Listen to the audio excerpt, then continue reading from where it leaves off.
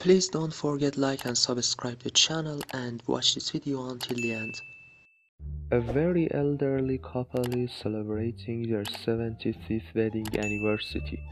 The man says to his wife, Dear, there's something that I must ask you.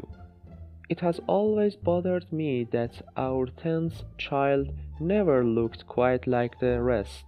Now I want to assure you that this 75 years have been the most wonderful experience I could have ever hoped for. And your answer could not take all of that away. But I must know, did he have a different father? The wife drops her head, unable to look her husband in the eye, and then, confused, Yes, he did.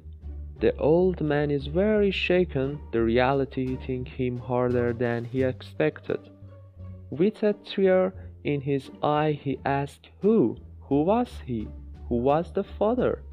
Again the woman drops her head, saying nothing at first as the tries to muster the courage to tell the truth to her husband.